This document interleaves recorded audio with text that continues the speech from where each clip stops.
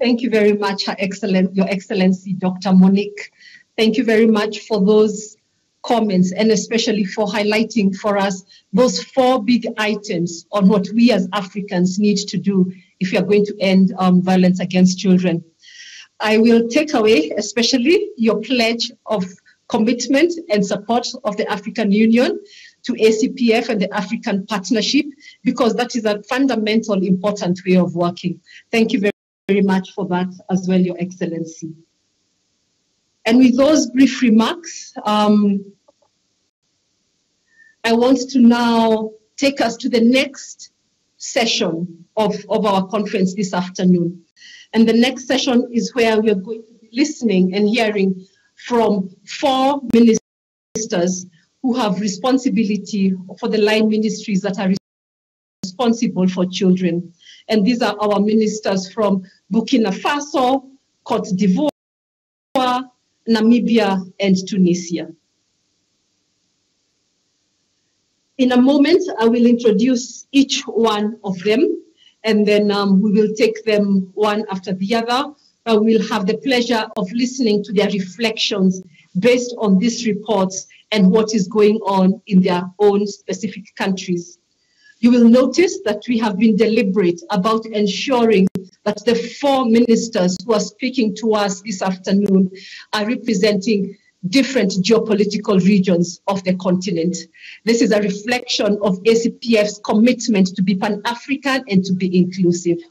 And therefore, ladies and gentlemen, your excellencies and honorable ministers, I have the pleasure of introducing to you first the lineup of our four ministers we have Her Excellency Mrs. Nasan, Nasseneba Touré who is the Minister of Women, Families and Children from the Republic of Cote d'Ivoire. We have also with us this afternoon Her Excellency Mrs. Doreen Nampies Yoka, the Minister of Gender Equality, Poverty Eradication and Child Welfare from the Republic of Namibia we have the privilege and the honor of having Mrs. Her Excellency Mrs. Helene Marie Laurence Ilboudo, the Minister of Women, National Solidarity, Family and Humanitarian Action from the Republic of Burkina Faso. And last but not least, the pleasure of having Her Excellency Mrs. Imen Zahwani Houimel, who have who have had the pleasure of interacting with in different forums on violence against children. She is family and the elderly from the Republic of Tunisia, representing North Africa. And now, without taking much more time, I would like to introduce to you our first speaker from the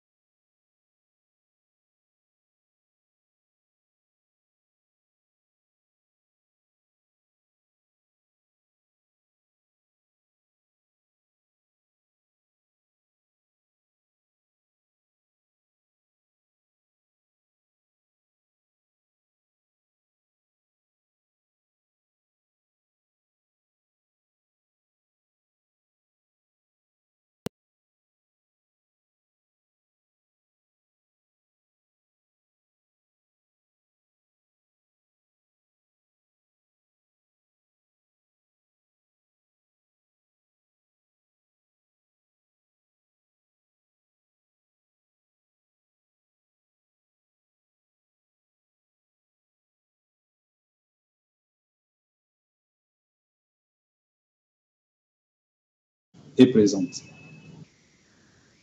Donc, les progrès que nous avons eus en Côte d'Ivoire depuis l'année 2012. Donc, depuis 2012, la Côte d'Ivoire qui sortait d'une période de crise s'est dotée de moyens d'offrir à ses enfants un cadre de protection qui met en synergie d'action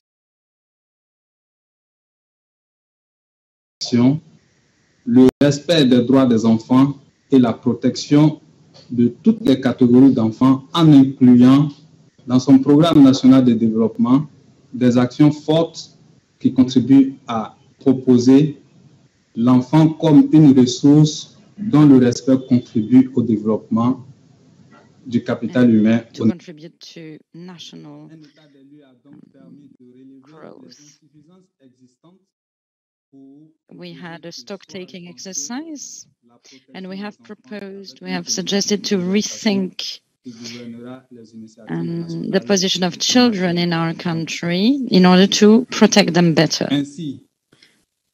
Therefore, since 2013, we have had great strides, especially a national policy for the protection of children.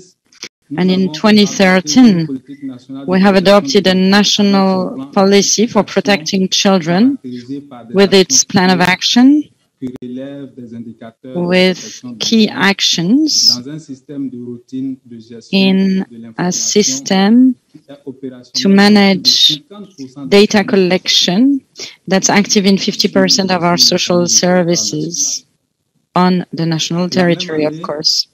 The same year, we have implemented a national free helpline to report violence, to report cases and abuses on children. This is what we have called the Green Line 116. It's called Allo Enfant. The functioning of this helpline has shown the magnitude of the vulnerabilities that children are facing. Also, it showed how crucial it was to take them in charge. Therefore, Cote d'Ivoire has decided to continue its efforts, and in 2014, we implemented a child parliament for Cote d'Ivoire. The same year, we have adopted a law to help orphan children so that they are protected by the government. We have also produced documents on uh, supporting children victims of violence. In 2015, Cote d'Ivoire has ratified the Hague Convention of 1993 related to uh, protection of children and international cooperation uh, in terms of adoption. And Cote d'Ivoire has also ratified the additional protocol of the CRC about uh, pornography. In 2018, we have had uh, norms and standards for protecting and safeguarding children that are in care centers. And we have implemented a mechanism that's operational now um, to have families to support children that are orphaned. And in 2019, we have implemented an interministerial uh, committee for protecting children. This is meant to amplify the protection of children, and to end violence against children by suggesting the proper solutions. In 2020, the private sector has taken a number of uh, um, uh, measures, especially a system of surveillance monitoring of uh, labor work. The government has also created a foundation in order uh, to um, collect uh, money from the private sector to support these priorities. We still have challenges ahead of us. Of course, we have the uh, challenges to overcome. Despite these policies and plans implemented to safeguard children and children's rights, our country is still facing violence against children. I want to um, talk here about some of the main challenges, the high prevalence rates of violence against children, based on the um, main uh, censuses and uh, health surveys. It shows that three women out of five, so 58 percent have suffered violence in their childhood. Despite the implementation and enforcement of the laws adopted, there is still a high prevalence of uh, sexual, physical violence and emotional violence, but a few of them are reported, especially sexual violence. However, there is a change of uh, behavior towards children that should help um, eliminating violence against children. We also have to uh, favor uh, the fighting against impunity and amicable uh, dispute settlement especially when it comes to sexual violence. As priorities in Cote d'Ivoire, we aim at revising our national uh, strategy and we have to rethink the strategy based on the current um, priorities and challenges. We are a champion country in terms of the implementation of seven different strategies to promote uh, different types of support for children, especially on education and the involvement of private sector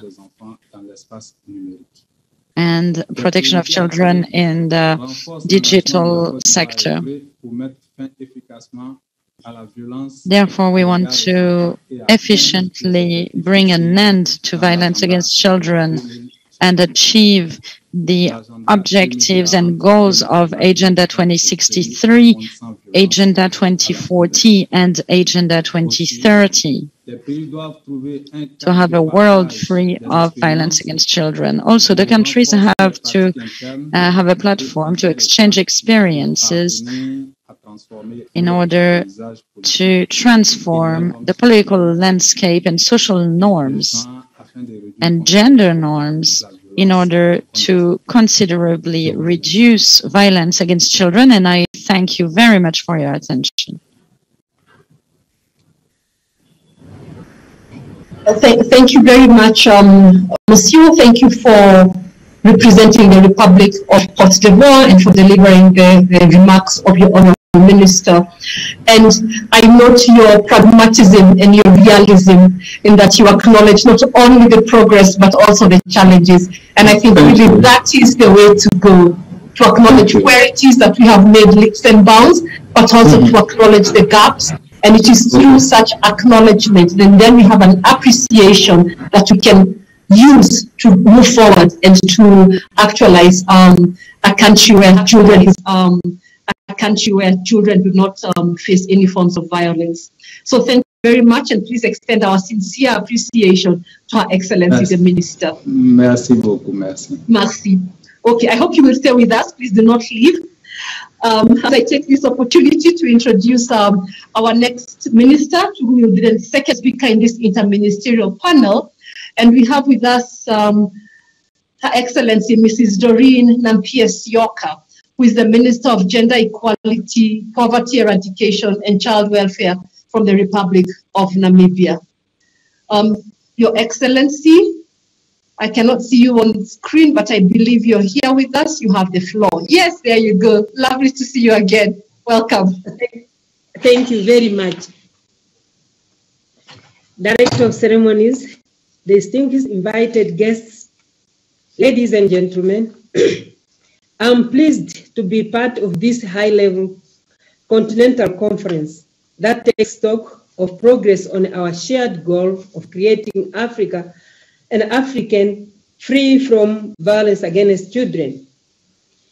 Ladies and gentlemen, I am going to be briefly highlight on the progress, challenges, and priorities for present and future action in our quest to eradicate violence against children in Namibia and to be part of Africa, African, and global goals of ending violence against children in all its forms. Number one, progress. Namibia ratified the African Charter on the Rights and Welfare of Children and the UN Convention on the Rights of the Child.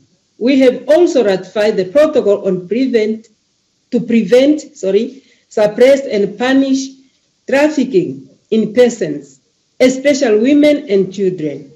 That's Palermo Protocol, the UN Treaty Collection, Palermo Protocol 2020, and the Convention 182 prohibiting the worst form of child labor of the International Labour Organization, that's the ILO, ratifies ratification for Namibia's 2020.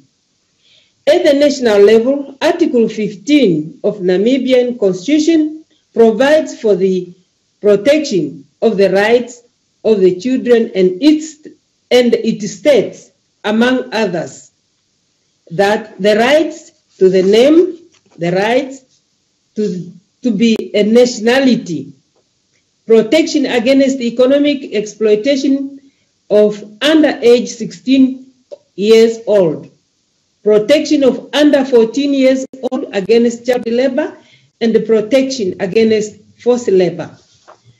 Subsequently, to the provision in the country's sub, supreme law, Namibia has enacted Child Care and Protection Act number 3 of 2015, which outlines the protection which all children in Namibia are entitled, including protection from violence, exploitation, abuse, and trafficking.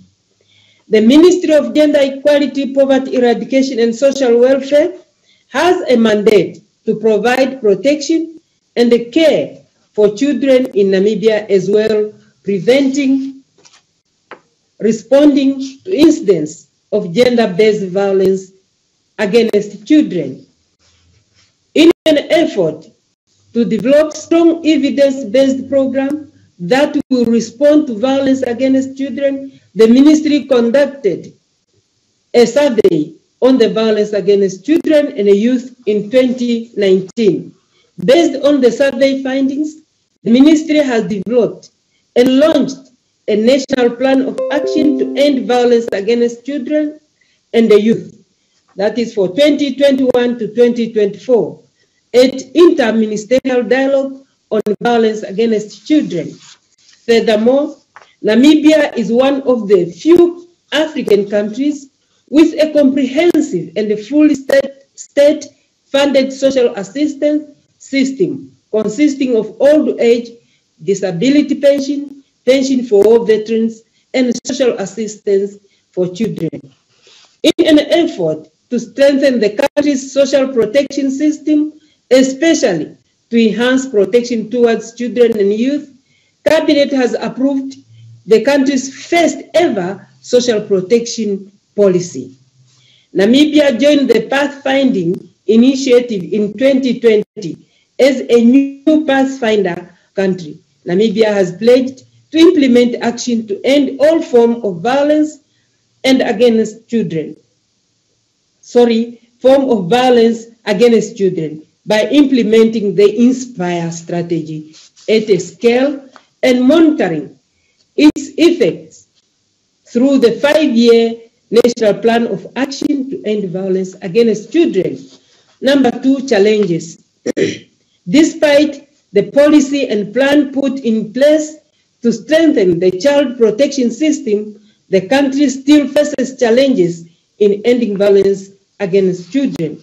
The survey undertaken in 2019 showed high prevalence of violence against children with that 32.7% of girls and 30.9% of boys experience physical violence at the hands of parents, caregivers before the age of 18. Uh, number three, priorities for future. Despite challenges, the Namibian government, under the leadership of His Excellency, Dr. Hage Geingob, of course, and the legacy left by the, his two predecessors remained committed, remains a commitment to the war against poverty and gender-based violence, including violence against the children, girls, girl, and a boy child. The Ministry of Gender, Poverty Eradication and Social Welfare, in collaboration with other ministries, offices, and agencies, commenced with the implementation of ini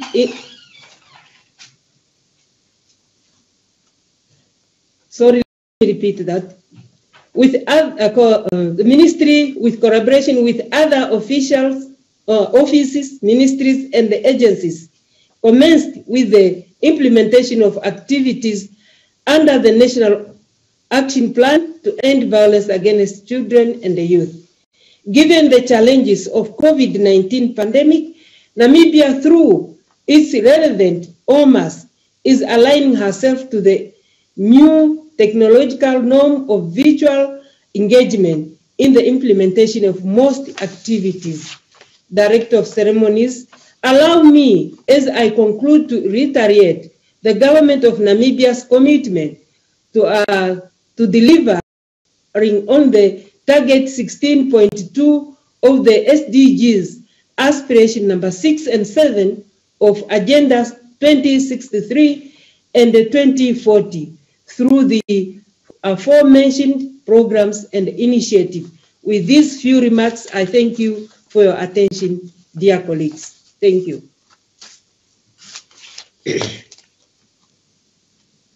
Thank you, Honorable Minister Doreen Sioka. Thank you for your comments. And thank you for closing on reminding us about the linkage about what happens locally and what is happening globally, for linking the efforts and the priorities in Namibia with the aspirations of um, the SDGs and in particular um, SDG 16.2. Um, I note with a lot of enthusiasm and, and um, hope efforts, the remarkable efforts you have put in becoming a Pathfinder country.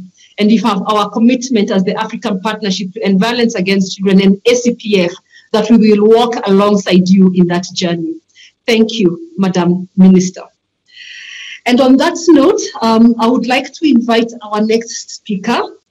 We have with us um, Her Excellency Mrs. Helene Marie Laurence Ilboudo. I hope I have pronounced the name correctly and she is the Minister of Women, National Solidarity, Family and Humanitarian Action of the Republic of Burkina Faso. We are honored by your presence, Honorable Minister, and I'll now pass the, the floor to you. Please go ahead, Honorable Minister.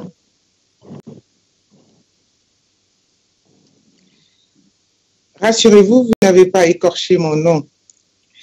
Madame la directrice exécutive de African Children Policy Forum, chers participants, mesdames et messieurs. C'est avec un grand enthousiasme et un réel plaisir que je participe. I am very glad to be here and participate in this uh, virtual high-level conference on eliminating all forms of violence against children in Africa. This is a good opportunity to share our experience and consider together the way forward uh, Uh, to make sure we reach an Africa free of violence against children. According to the preliminary results of the fifth population household census of Burkina Faso in 2019, in Burkina Faso, the share of children and, and teenagers from 0 to 19 years old represents 55.79% uh, of the population. A majority of these children lives in a context characterized by poverty, persisting gender and disability inequalities, uh, traditional practices, and um, uh, um, problems in terms of uh, harmful socio-cultural practices. The security and humanitarian crisis that we are facing since 2015 increases the vulnerability of children that account for 60.5% of the uh, IDPs uh, by the 30th of June 2021. This crisis exacerbates um, importantly the violence against children um, uh, and creates new issues uh, such as non-accompanied children, separated children, IDPs children, and children in the street and armed groups. Ladies and gentlemen, dear participants, violence against children are multiple and they have diverse forms. The results of the national study of the violence against children in Burkina Faso in 2018 indicates the following prevalence for the following types of violence. Physical violence, 24.6% in children from 0 to 11 years old and 15.6% in children aged 12 to 17 percent. Emotional or psychological violence is 27.2% in 0, uh, 0 to 11 years old and 25.7% in children aged 12 to 17 years old. Sexual violence prevalence is 3.1% in children 12 to 17 years old. Labor exploitation of children, 12 0.4% in uh, the children aged 12 to 17 years old, and uh, female genital mutilation is 3.6% in children 0 to 11 years old, and 18% in girls from 12 to 17 years old. A census of children and the youth in the street made in 2016 showed that Burkina Faso had 9,313 children and youth in the street, whereas this figure figure was 5,721 in 2010. Regarding child marriage, the multiple indicators population and health survey indicates that Burkinabe women uh, form a marriage at a very early age. Among women aged 25 to 49 years old uh, during the survey, one in 10, so 10% was already married at 15. Faced with this situation, the government of Burkina Faso made child protection a priority and a prerequisite of its development. Since a few years, the government has started uh, to implement a legal and institutional framework that's favorable to a child promotion and protection.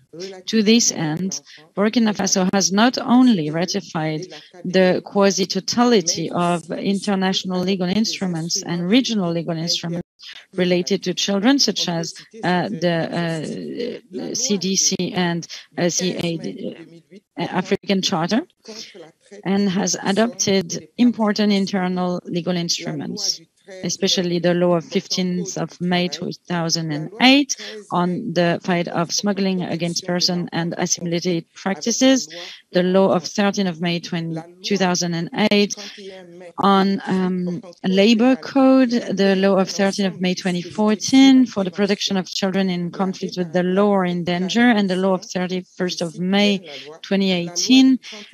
That's a, a criminal code that integrates a set of mechanisms on prevention, elimination, and uh, reparation for violence against women and children and victims. Also, there is an institutional mechanism that uh, gathers all the structures um, that act towards the children. So are um, state structures, NGOs, and CSOs. And my department ensures and coordinates that all actions are correctly coordinated towards protecting children. And such legal and institutional framework has allowed to make great strides in fighting against violence against children. Our country has strategic and operational documents, being the National Parent Education Parenting Program 2016 2016-2020, the National Strategic Plan for Promoting the Elimination of um, FGMs in Burkina Faso 2016-2020 and its Operational Plan of Action 2019-2020, the National Strategy of Prevention and Elimination of Child Marriage in Burkina Faso 2016-2025 and its Operational Plan of Action 2019-2021, the National Strategy 2019-2023 for fighting against the worst forms of child labor and its operational plan of action 2019-2021, the National Strategy 2020-2024 for protecting children and its operational plan of action 2020-2022, and the National Plan of Action for fighting against uh, violence against children 2021-2023. This has allowed Burkina Faso to strengthen its national uh, child protection system by implementing a national uh, task force for child protection that was implemented and became operational at the national level in 2009. Eh, also at the regional level, there are currently under implementation. We have seven currently in place, 45 networks for protecting children in the provinces, and 79 uh, municipal networks for protecting children as well as 490 community units for child protection. All these networks help us report uh, cases of children through helplines. So we have different helplines. The 116, that's uh, uh, for uh, children victims of violence or at risk of violence. There is also a green number, which means that's free 80001287 for uh, gender-based violence, a green number for um, female genital mutilation, 80001112, another green number uh, for security 1010 uh, the police 17 uh, the firemen 18 and uh, gendarmerie 16 all these uh, networks are all these helplines are coordinated in one um, one helpline. So whatever number you call there is uh, one place where they will um, they will pick up the phone and reply to you and uh, guide you to the relevant um, structure. We also have different mechanisms such as 261 hosting families that are certified.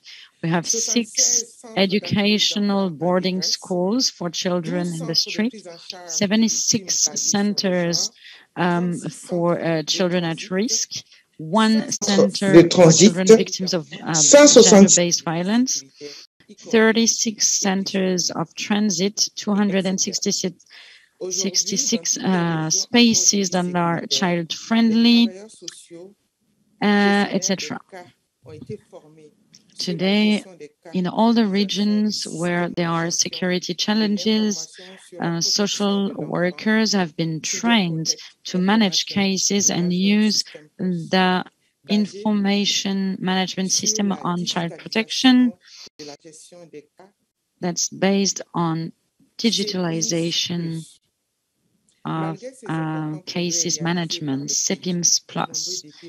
Despite all these important progresses made by the country, there are still a number of, uh, of challenges.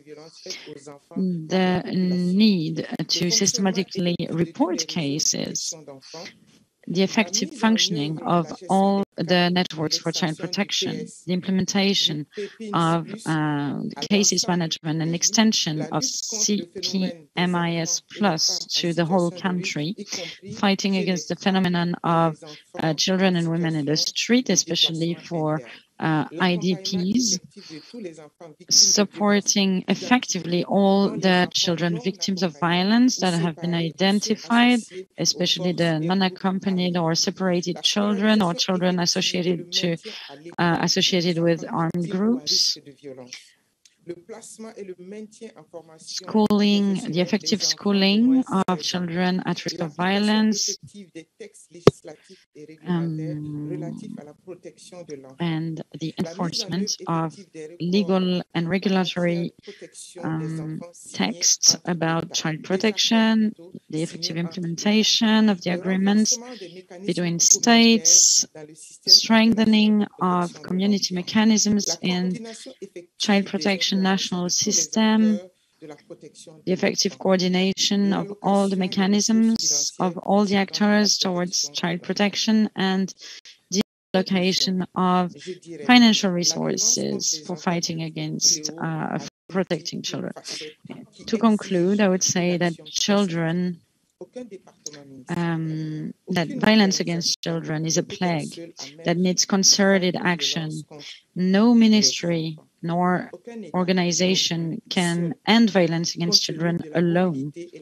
We have to make partnerships, we have to strengthen our partnerships.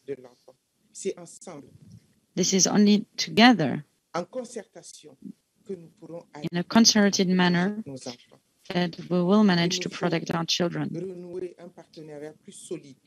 We need stronger partnerships with the participation of children because we know that the more a child uh, buys in, uh, the more success we'll have. We have to have an inclusive approach, and this is only so that Burkina Faso believes that all African countries can, hand in hand, in a synergy such as the one we see today, in exchanges and in sharing experiences, only then we will achieve an Africa free of violence against children. Thank you very much.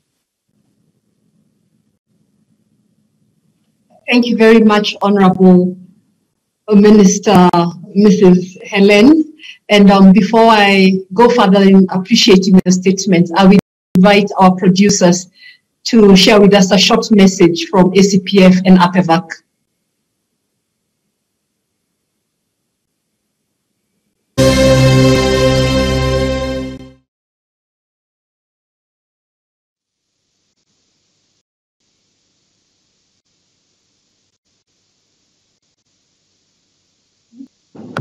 Thank you so much. My English is not perfect, so I prefer explain, explain myself in, uh, in French.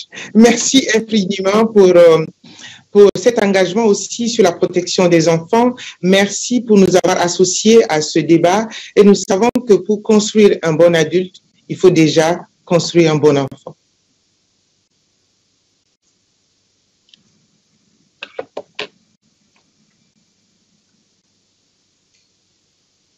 Thank you very much, Honorable Minister, and thank you for your very comprehensive remarks. And um, um, I do not attempt to summarize, but I really like how you've put together the importance of data and how you have used that data throughout your statement, you know, and really translated the laws into the policies and how and the efforts that Burkina Faso is making in translating these policies into practice. Um, I like very much also your connection in, in the reality of the context that African countries are, are facing, whether, whether we have internally displaced people, we have violence against women interlinking with violence against children, and that reinforces your closing message on the importance of us coming together, working in a concerted, synergistic partnership, really, if we are going to address the problem of violence against children.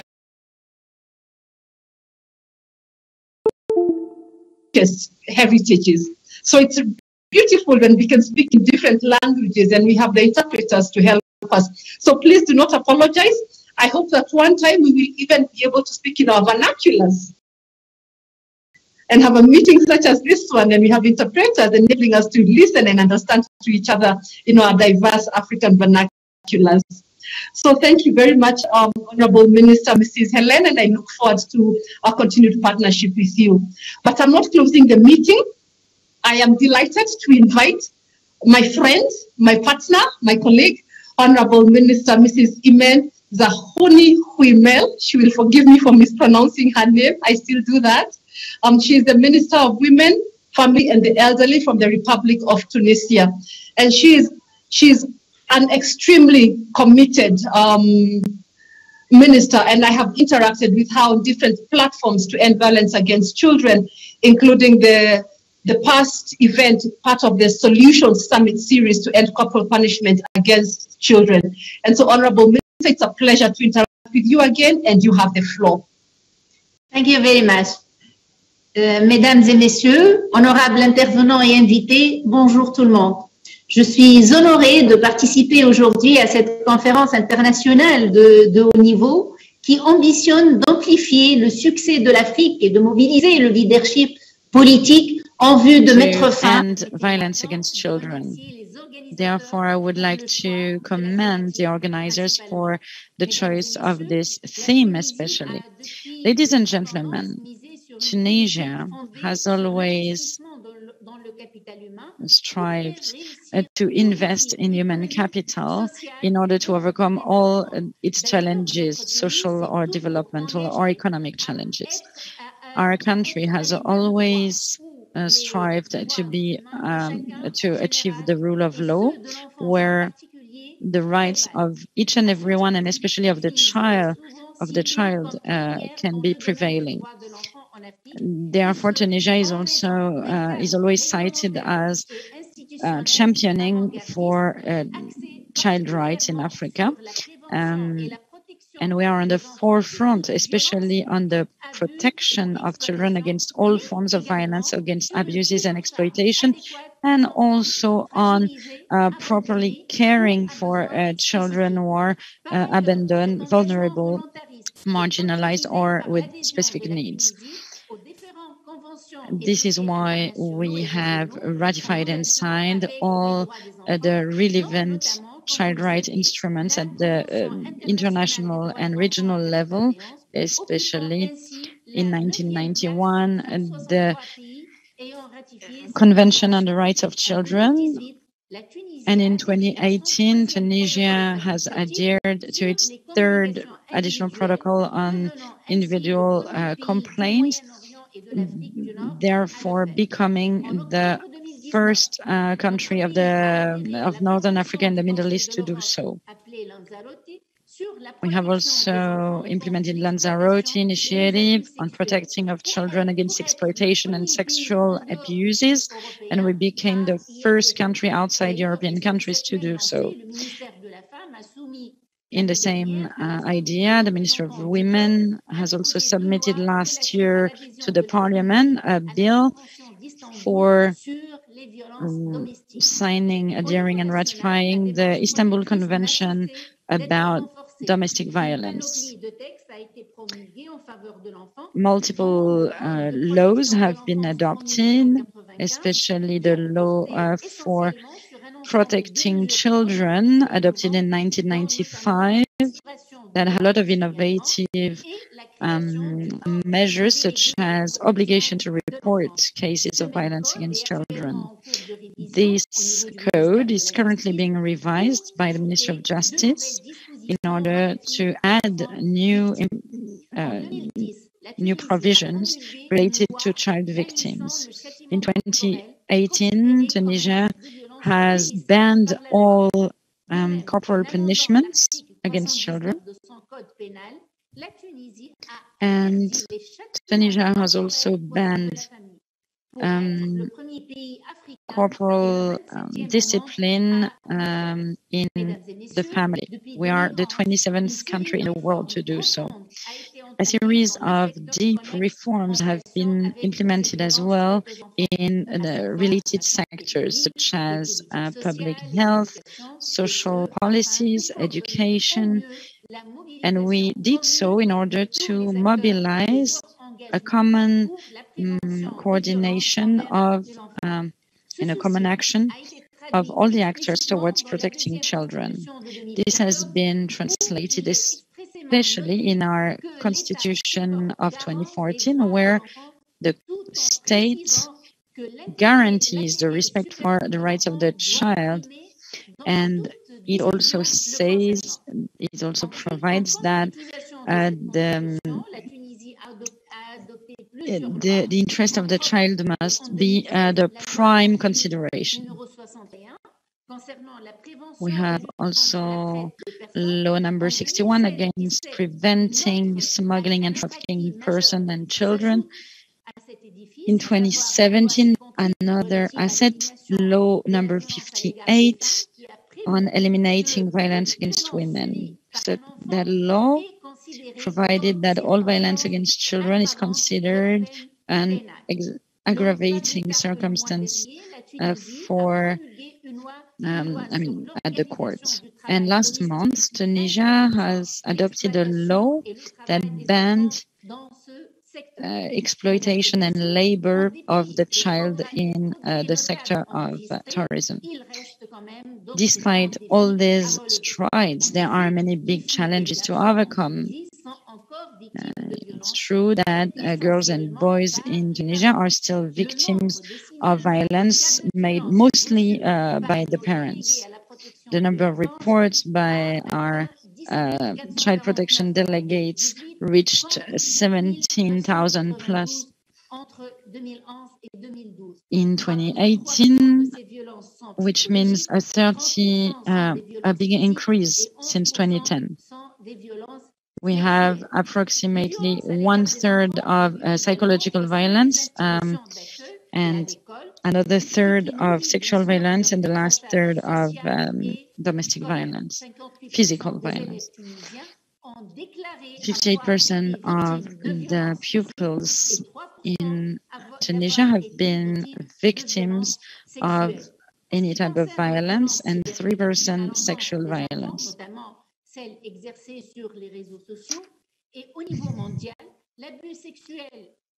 social uh, sexual abuse and sexual bullying of children or harassment of children is on the rise.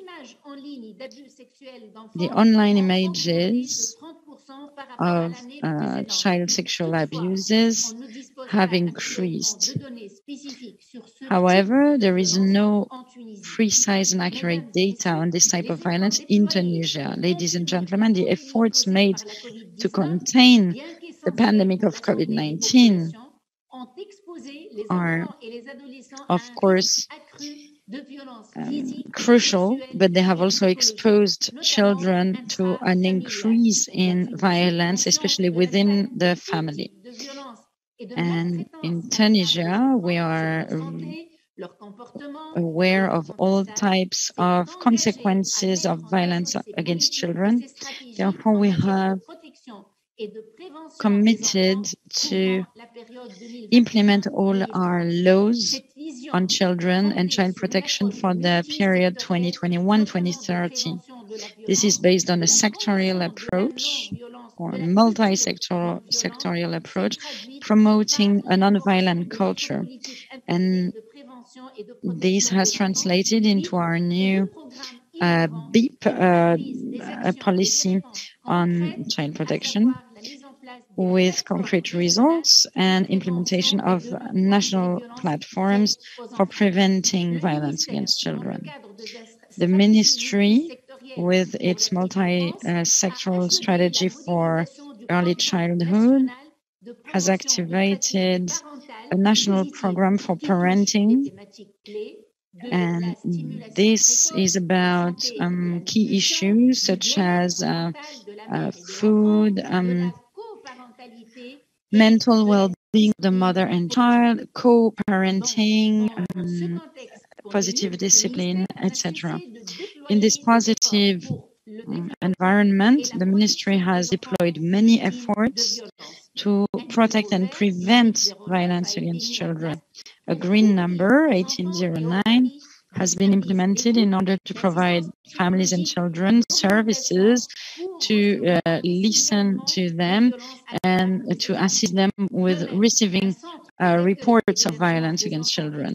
Also, there is a center to, uh, uh to a reception center for these children.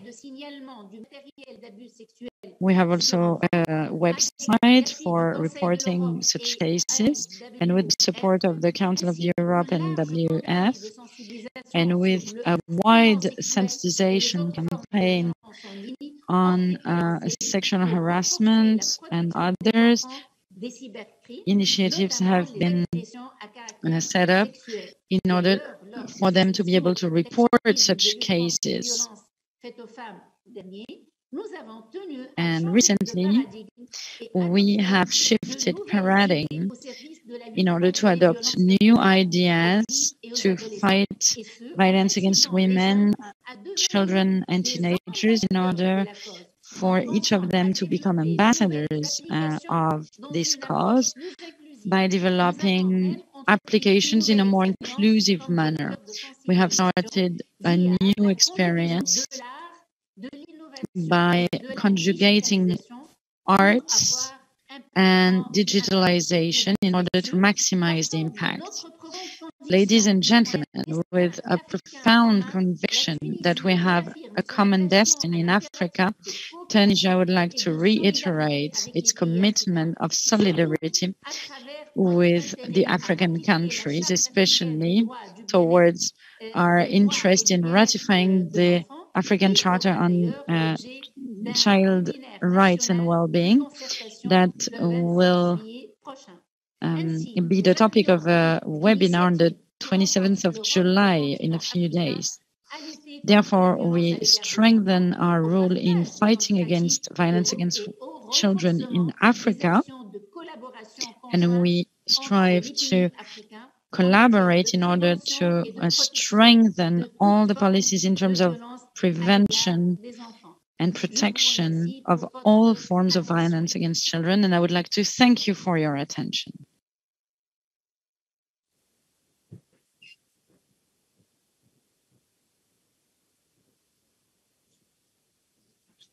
Vous m'avez entendu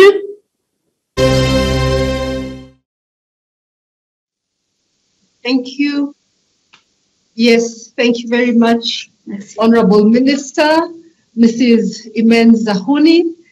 Thank you very much for your comments on Tunisia, and thank you for emphasizing again that the starting point is um, not just adopting the laws and the instruments and the charters, but in bringing them to life and giving life to the principles of child rights that are embedded in these charters.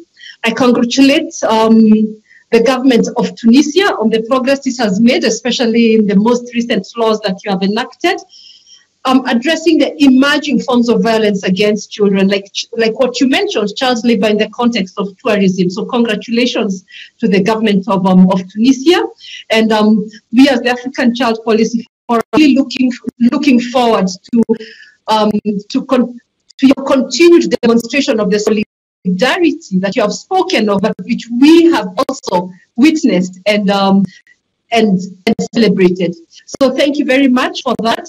And now, ladies and gentlemen, honorable guests and excellencies, we are coming to the last part of our program. This is where we are going to be looking at what is the way forward and where do we want to go from here.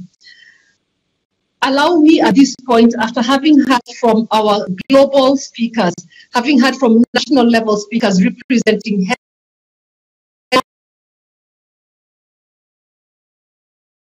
as all speakers have alluded to, it is together and through partnerships that we can do more. None of us alone can end violence against children.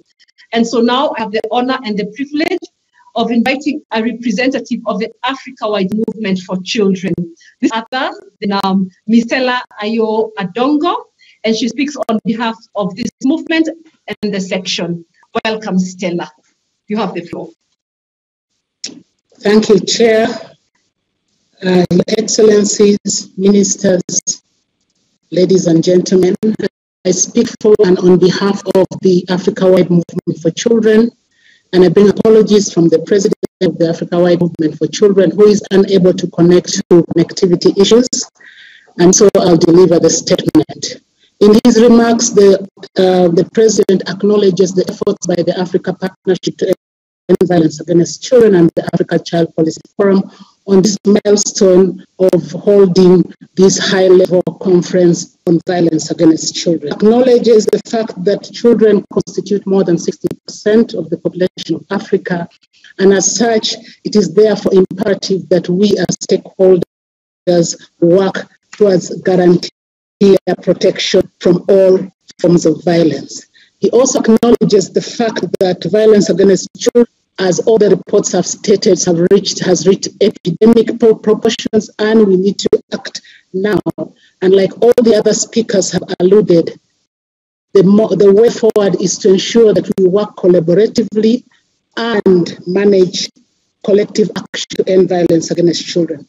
Above all, the statement reiterates the need for uh, policies, the need for laws, the need for programmatic action, and multi-generation to end violence against children. We, this conference comes at an opportune time when efforts to end violence against children is receiving multiple attention from regional, national, and international level. And as civil society, we do have a role to play in terms of galvanizing efforts and supporting the different mechanisms to push the agenda. Number one, the need to support and, and regional mechanisms to promote and end violence against children. Some of the regional mechanisms are already have already been mentioned, but I would like to highlight specifically the Africa Committee of Experts on the Rights and Welfare of the Child and the regional economic committees that the, the civil society will work closely to, with to ensure that uh, violence against children is an integral part of the actions that they undertake, but also at the center of the conversations that happen at these levels. The deputy chair of the AU has also alluded to the fact that the, the, violence against children is an integral part of the African Union mechanisms. And as civil society, we pledge and make a commitment to support the African Union in delivering this mandate, but above all, in ensuring that aspirations presented in Agenda 2063 of the African Union and Agenda 2040 are implemented and the rights of children. The second action by civil society is to use the information that is emerged from the reports that have, that have just been released. That, that we will use the data that has been released in the three reports to provide a baseline on how we can work differently with governments and monitor progress. Governments already have a baseline on what is happening, the situation about violence or against children, and reports will help us to, to act as catalysts of change and work together with government to promote the agenda to end violence against children. And in this, in this decade of work together towards the realization of an Africa free from violence. The third action that we pledge to take as civil society organizations across the continent is to look the, at the issue of resourcing you all agree with me that uh, the, the issue of investment, investing in efforts to end children is a call that is being made across sectors and by every actor. And as civil society, we will work with this data to ensure that um, there is increased investment to ensure that to, to make uh, ending violence against children a central priority in different countries, but also at the continental level. Our role as advocates and our role as, uh, as a catalyst for change will continue, and we will continue working at national level to ensure that governments um, adhere to, to commitments that they make, but above all, that we as civil society support the rolling and uh, of, of, of strategies and implementation of these strategies at national level. Civil society play a key role in terms of programming and um, um, implementing program at national level. And therefore, as civil society, we will work closely to ensure that violence against children strategies are implemented. In all this, we work together and collectively with government. Our key message, key message is as one that violence against children should be prevented. And violence against children can be prevented using existing mechanisms. We already have schools Schools is one of the most efficient entry point to, or, to end violence against children. Civil society have also learned from experience that that uh, actions to, to end violence against children will benefit more if we learn from each other. And this Continental uh, Conference has demonstrated the benefit of learning from each other. We have heard from the different governments to also pledge as civil society that cross-country learning and collaboration will be an, an, action that we will promote. Finally, the evidence that have been released today demonstrate that there are efforts to end violence against children, homegrown solutions that have worked. The report that was released here to stay demonstrates that there are different countries that have demonstrated the actions to end violence against children. As civil society organizations, we will pick on these solutions, the best practices, and ensure that they are not only implemented, but they are scaled up and scaled out to reach the countries, to reach the continent, and at the same time ensure that violence against children is eliminated. The last clarion call, which is everybody's call, is that ending violence against children requires collective action. Civil society organizations are part of the Africa Partnership to End Violence Against Children. And in this regard, we pledge our commitment to continue working in this collaboration to end all forms of violence against children and work towards an Africa free from violence against children. Thank you very much. Thank you very much. Thank you very much, Ms. Stella Ayo Odongo. Thank you for standing in on behalf of Mr. Sisai, the president of the African um, Movement for Children. And I note the three pledges that you have made, and that is on behalf of civil society, child, the child rights um, civil society actors on the continent. And I'm pleased to hear the, the passion and the commitment to working collectively, collaboratively, to learn from each other and to advance the solutions that we know work to end violence against children. Um, and so now I want us to go to the next speaker. And um, the next speaker has a lot of weight on his shoulders, if I may say that in introducing him. This is because he is the executive director of the Global Partnership to End Violence Against Children, a partnership of more than 600 partners from across the world, different continents, different countries, and different sectors, from governments, from multilaterals, from funders, from local actors and networks, from academics and civil societies. You name it, they're members of this partnership. And so I wish to invite Dr. Howard Taylor, the heavy weight he has on his shoulders, to deliver to us a statement on behalf of the members of his partnership. Dr. Howard Taylor, you have the floor. Welcome. Thank you, Joanne, for that very kind introduction. Uh, Your Excellencies, Honourable Ministers, distinguished speakers and guests, ladies, gentlemen, and of course, young people. It's a huge privilege to be part of this informative and inspiring conversation today on behalf of the Global Partnership to End Violence Against Children. We are a global platform launched by the UN Secretary General for collective evidence based advocacy, action, and investment to end all violence and abuse of children. And let me first congratulate the African Child Policy Forum and the African Partnership to End Violence Against Children on today's publication of three important reports that are a roadmap and a call to action for us all. Let me also congratulate all of the leaders who have already shared today the steps being taken in their countries and their organizations to prevent and respond to violence and abuse of children across Africa. Your leadership really is an example to others. Every year, more than 1 billion children around the world experience violence, exploitation, and abuse. And this epidemic of violence against children takes place at home, it happens online, at school, and in the communities. And it happens in every continent, in every country, every community, every city, and in all socioeconomic and cultural contexts. And as we've already heard from other speakers, Initial evidence suggests that the shocking epidemic of violence against children has got even worse during the COVID 19 pandemic. Uh, the pandemic has disrupted violence prevention and response services for around 1.8 billion children in more than 100 countries, including across Africa, and 1.5 billion young people across every continent have been affected by school closures, losing both educational opportunities, but also the protection and support that schools can provide in helping to end violence and abuse against children. And yet, and yet, despite this, I believe we have an unprecedented historical opportunity to end violence against children. And I'm optimistic because we know what it takes to end violence against children and because we're seeing growing momentum to take that necessary action, including the powerful examples we've already shared by leaders today.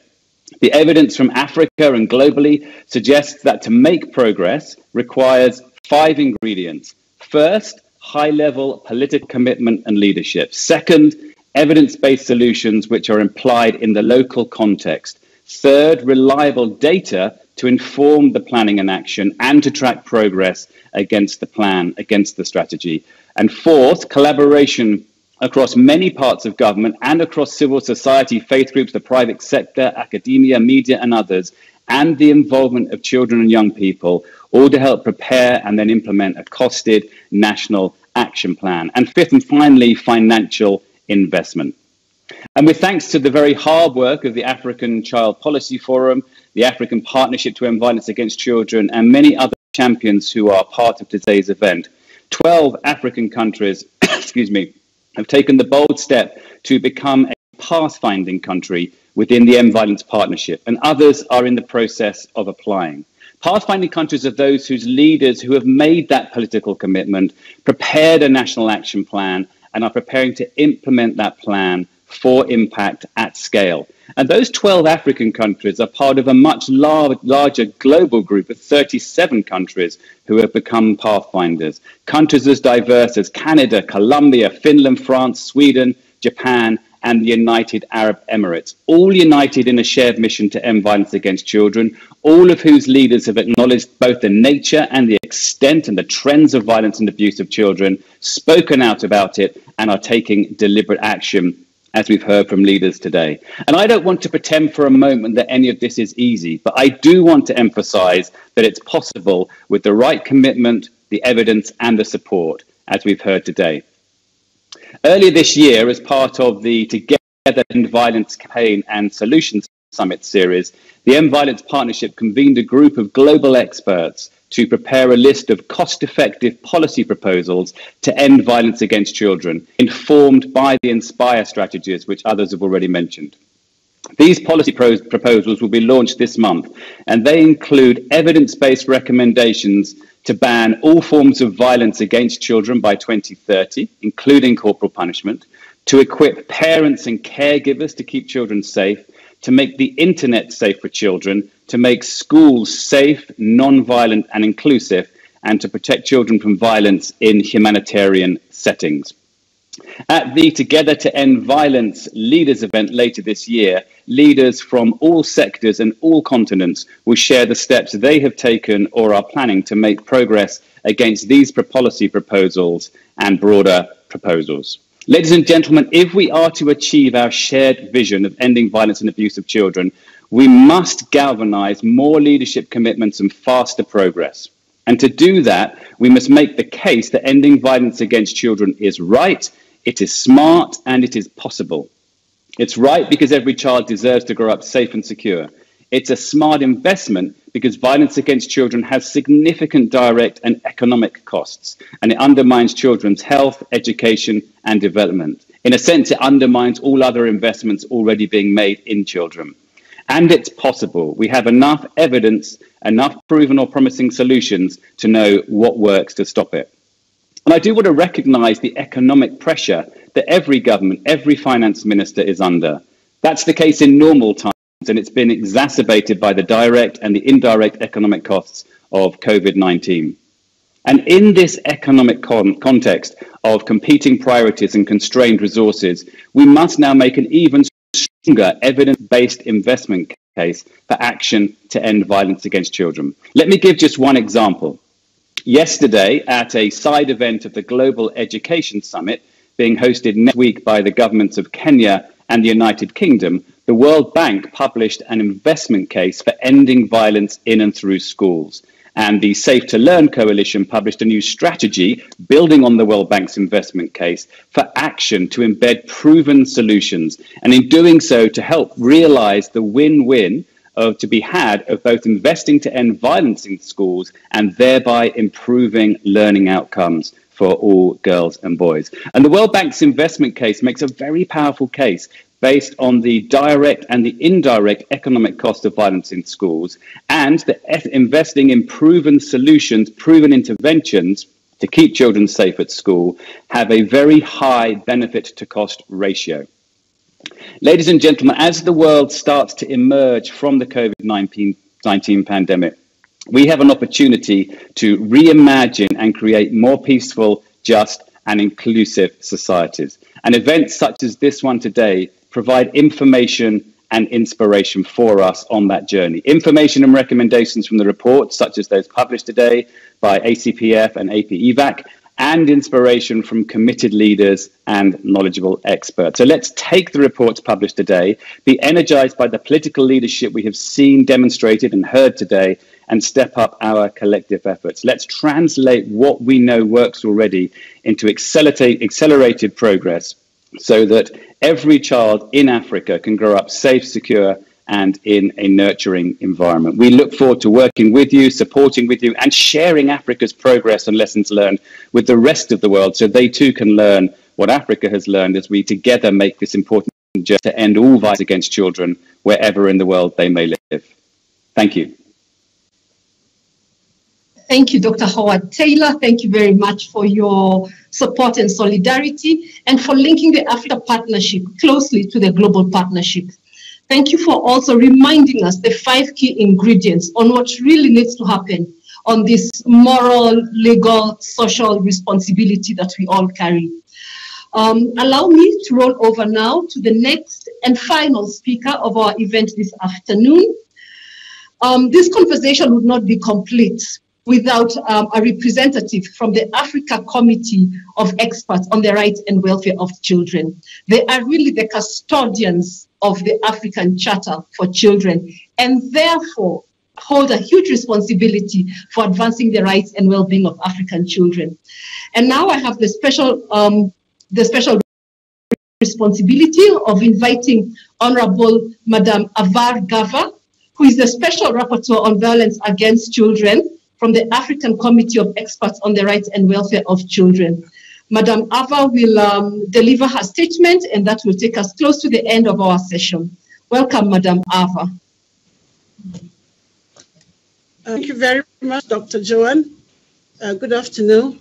His Excellency Dr. Lazarus Chakwera, the President of the Republic of Malawi, Her Excellency Dr. Monique Nsanzabaganwa, Deputy Chairperson of the AU the honorable ministers from Burkina Faso, Cote d'Ivoire, Namibia, and Tunisia, excellencies, distinguished guests, ladies and gentlemen, the African Committee of Experts on the Rights and Welfare of the Child welcomes you to the launch of the three reports and commends the ACPF initiative regard to the establishment, establishment of the African Partnership to End Violence Against Children and the stewardship that resulted in this milestone.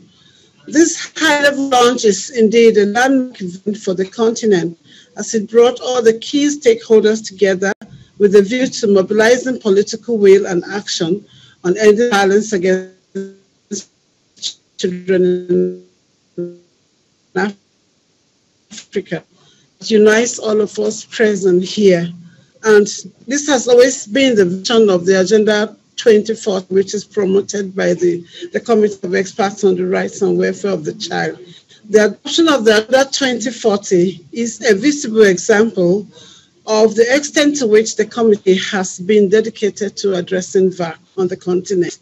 The committee, its mandate to promote and protect the rights of the child has also engaged in general comments and has issued several general comments aimed at improving the implementation of the Charter on the Rights and Welfare of the Child, and it has also engaged both uh, state parties in constructive dialogues uh, on specific manifestations of violence against children, and it has engaged specifically on um, or issues affecting children during emergencies, for instance, the COVID-19, guiding notes of the committee during the COVID-19.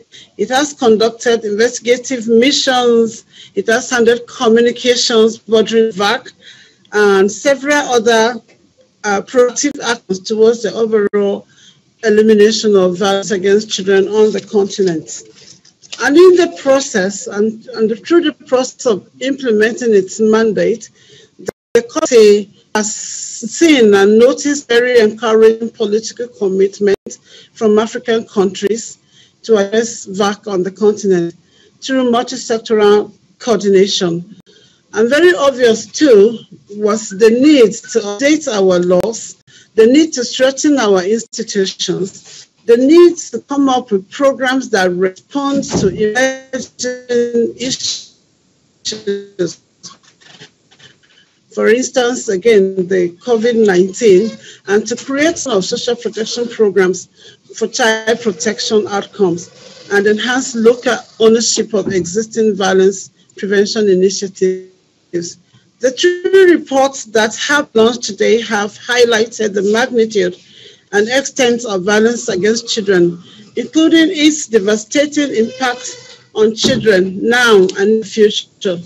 Violence against children impinges on fulfillment of children's rights in all aspects, the right to survival, to development, to health, to education, to participation, their rights against non-discrimination, among others.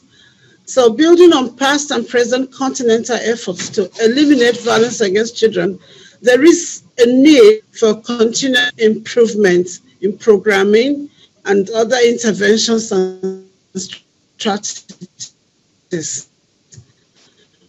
We are reminded that we need to continue tracking African homegrown solutions to address violence against children.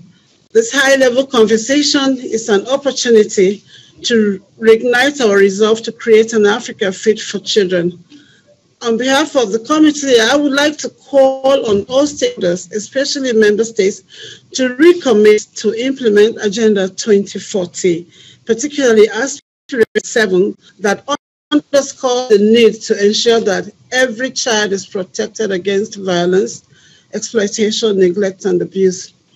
Also, in undertaking preventive measures and responses, Aspiration 10 of the Agenda 2040 emphasizes the importance of child participation, participation because African children in their fight to eliminate violence must be able to speak out. Their voices must be taken into consideration in the fight against violence. The African Committee of Experts on the Rights and Welfare of the Child pledges to support the work of the African Partnership to End Violence Against Children, APVA, and galvanize using the instrumentality of its mandate to galvanize political and support across the continent in order to end violence against children and through dialogue and to change through the strategies that are, are, that fall within the mandates of the committee.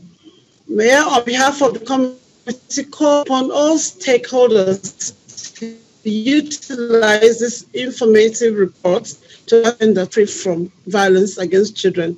Excellencies, distinguished ladies and gentlemen, as we bring the conference to a close, allow me, uh, on behalf of the committee, to make this appeal that violence against children is entirely preventable and to adopt this focus with the possibility of prevention and putting much more effort area of prevent, prevent, prevention towards through uh, empowering our children and the responsibility to prevent and all forms of violence, whether in the private sphere by adults or child violence or in public spaces rests with all of us. We are the duty bearers. We are the role players. Time is now to take unequivocal action to effectively put an end to this vice. And so on behalf of the chairperson of the African Committee of Experts on the Rights and Welfare of the Child, Honorable Joseph Ndayisenga, I greet you and I thank you. I congratulate APEVAC and ACF and I say felicitations to all of us here. Salam.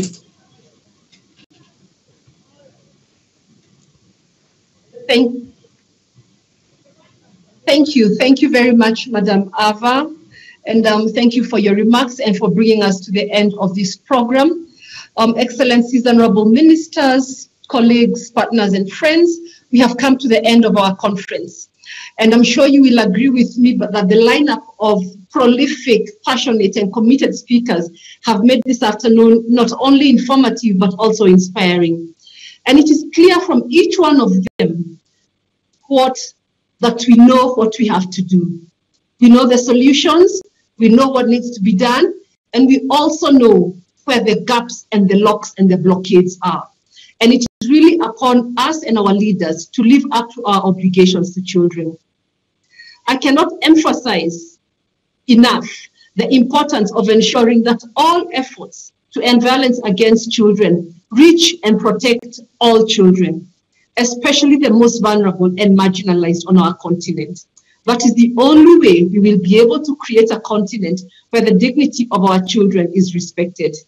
We should accept no less, and our children should expect no less. And with that, allow me once again, um, Honorable Minister Excellence, to extend sincere apologies from Mrs. Graça Machel, the chairperson of ACPF um, International Board of Trustees. She was unable to join us today, but she sends her sincerest wishes and expresses her solidarity and commitment to working and walking with us to end violence against children in Africa. I want to especially thank my team here at ACPF and APEVAC for the tireless work they have put in very difficult circumstances in the last few months in undertaking this research, in spite of the challenges of the pandemic. Thank you, my team. I also want to thank our partners without whose support the three, the three reports and the event would not have been possible. Special thanks to His Excellency, the President of the Republic of Malawi, to Her Excellency Dr. Monique, the Deputy Chairperson of the Africa Union Commission, and to our four honorable ministers from Cote d'Ivoire, Burkina Faso, Namibia, and Tunisia. And to all of you, distinguished ladies and gentlemen, who have joined us from more than 60 countries in five continents around the world, thank you for, for taking the time and showing the interest to, to join us. And, uh, and with that, I wish you a good morning and a good afternoon as you continue to do the phenomenal work wherever it is you are. Thank you and bye-bye.